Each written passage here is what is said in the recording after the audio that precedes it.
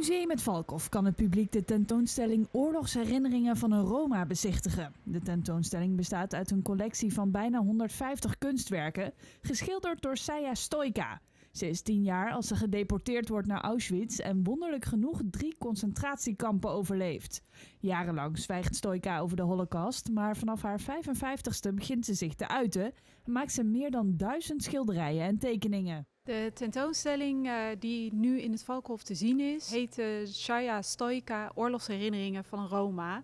En de tentoonstelling uh, gaat over een Roma-vrouw die drie concentratiekampen heeft overleefd.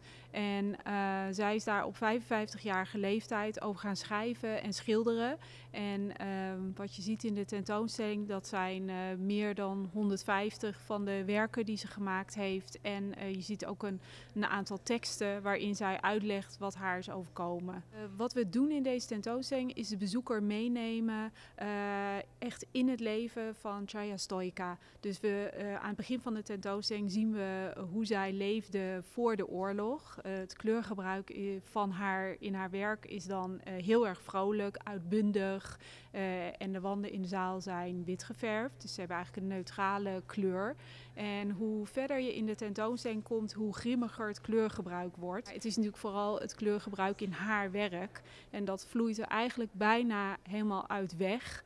Uh, omdat er voor haar ja, ook zo weinig kleur in het leven overbleef in die periode. En op het allerlaatste, dan, dan komt de kleur weer terug. En dan uh, zie je dat de oorlog is afgelopen. En uh, hoe zij de draad van het leven weer oppakt. De laatste jaren is er heel veel aandacht voor de Tweede Wereldoorlog. voor het lot van de Joodse mensen. maar ook bijvoorbeeld voor wat er in Nijmegen gebeurd is. Het, het bombardement door de geallieerden. Daar hebben we nu beneden ook een kleine tentoonstelling over.